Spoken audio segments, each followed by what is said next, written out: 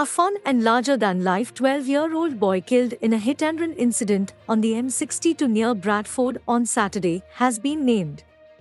Callum Rycroft was a beautiful, happy soul, his mother said in a tribute.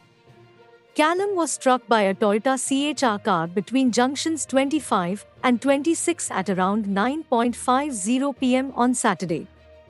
Police believe that he had been walking on the motorway with a man after an earlier collision involving an Audi Q5 on the slip road to Hartshead Moor services. A man has been charged with causing or allowing the death of a child, West Yorkshire police said.